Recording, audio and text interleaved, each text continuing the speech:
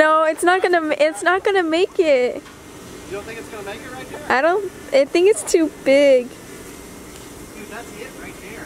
Are you sure? I think so. Here we go.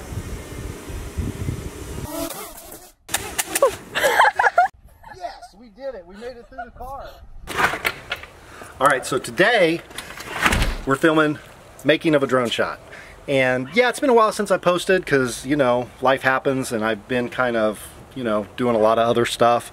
And, um, but Annie and I were talking and we, when we went to Asheville, we had filmed a drone shot of us flying our drone through a car window as we were getting in. And it made for a pretty cool drone shot. I mean, nobody said anything about it. Nobody made a comment about it. But anyway, we thought it was pretty cool.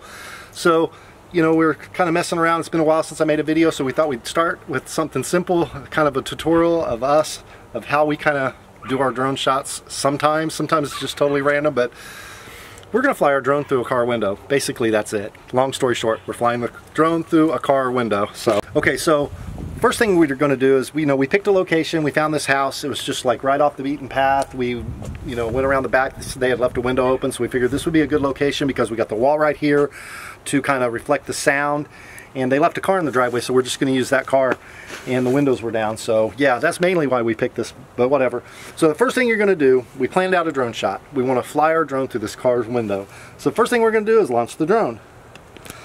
Drone. Oh, I can't zoom.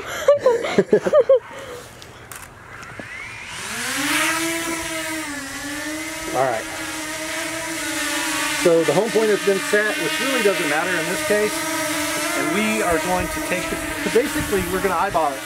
How we did this last time is uh, we shot a couple of shots of us coming up to the car and then um, Annie stood on the other side of the car and kind of just watched it go through and told me when it was about to crash. So, which,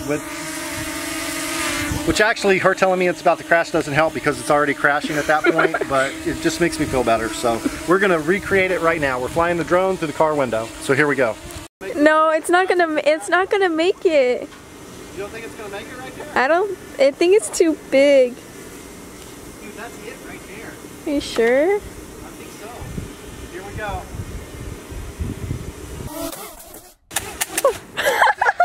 yes, we did.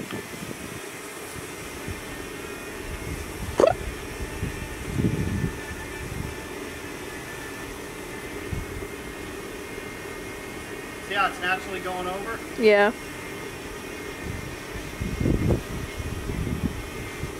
Here we go, you ready? Yeah.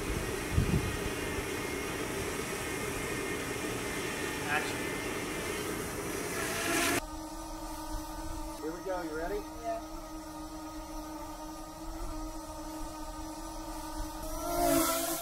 Whoa, you did it. Oh, I wasn't filming. No, I was. Hit me. I'm glad you got out of the way. Were you recording?